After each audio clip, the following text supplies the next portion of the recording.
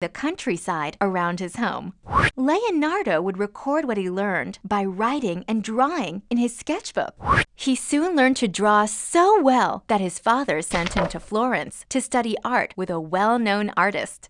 Before too long, Leonardo became a skilled painter and he soon moved to the city of Milan. In Milan, Leonardo worked as a sculptor, a painter, and an art teacher. During this time, Leonardo also made drawings for lots of inventions. Among his many ideas were drawings for buildings, a bicycle, an armored tank, and a flying machine. He was one busy artist. He sure was. But that isn't everything he did.